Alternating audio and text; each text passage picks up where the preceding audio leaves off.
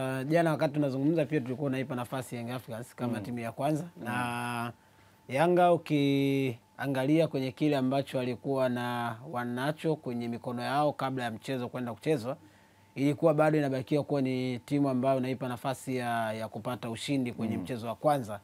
Pengine uh, unaweza ukawa nafikiria matarajio labda ingekuwa ni makubwa zaidi kwa Young Africans kupata idadi kubwa ya magoli kwa jinsi ambavyo timu yao imeonekana kuimarika, lakini unajaribu kuangalia vitu kadhaa kwenye mechi ya Kagera dhidi ya Young Africans mm. hasa wanavyokutana kwenye uwanja wa Kaitaba.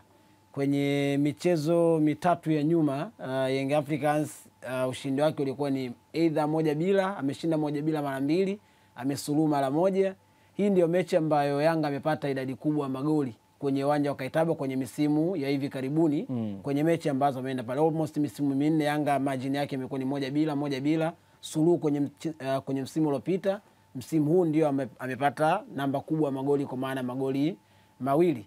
Kwa hiyo unachojaribu kuangalia ni kwamba uh, pengine hilo limestua, na unajaribu kuangalia nafasi ambazo Young Africans walizitengeneza. Hiyo sasa ni ndani ya mechi yenyewe, nafasi zilikuwa ni nyingi zaidi ambazo Young Africans walizitengeneza pa mechi. Pengine unasema walikuwa wanastahili kupata idadi kubwa zaidi ya magoli au namba ya magoli ingeongezeka zaidi kwa jinsi ambavyo timu ilikuwa imetengeneza nafasi kwenye mechi husika na kufika zaidi kwenye lango la wapinzani, kwa maana ya lango la Kagera. Unaweza ukawa na unaiangalia uh, safu ya ulinzi ya Kagera, kuna moment ilikuwa imefeli kabisa kufanya jukumu la kiulinzi, lakini utampa credit zaidi mlinda mlango Ramadhani Chalamanda kwa kile ambacho amekifanya kwenye mechi ya jana. Ilikuwa ni mechi ambayo kwake amepoteza kwa kufungwa magoli mawili, lakini saves ambazo amezifanya jinsi ambavyo alikuwa anaifanya mechi kubakia kuwa kwenye mchezo ambao Kagera pia anaona tunaweza tukapata kitu kwenye mechi, ilikuwa ni superb sana kwake kwa kile ambacho alikuwa anakionyesha.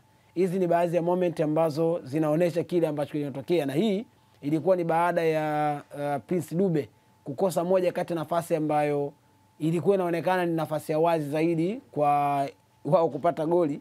Uh, Jigidi Diarra akawa amekaa na staajabu kwamba imekuwaje Dube amekosa nafasi kwenye eneo kama lile ambalo kulikuwa na possibility kubwa ya kuibadilisha nafasi kuwa goli. Kwa hiyo ilikuwa ni mechi ambayo uh, kwenye matarajio unasema Yanga alikuwa anabakia kuwa timu ya kwanza, lakini sio kwa kupata idadi kubwa pengine ya magoli kwa sababu ya hiyo rekodi ya mechi za nyuma ambazo alikuwa anacheza, lakini hata ukiangalia pia kwa, kwa kile ambacho Yanga amekifanya of course, ukirejea kwenye msimu elfu mbili na ishirini na mbili ishirini na tatu kwa maana last season mm. Yanga pia alichelewa kuanza mechi yake ya kwanza kwenye michuano ya ligi ya ndani mm. Wakati anaanza ligi, wengine walikuwa wameshaanza mechi zao. Mechi yake ya kwanza Yanga alicheza dhidi ya KMC, mechi ambayo Yanga alishinda kwa goli tano, tano kwa sifuri mm. kwenye uwanja wa Azam Complex.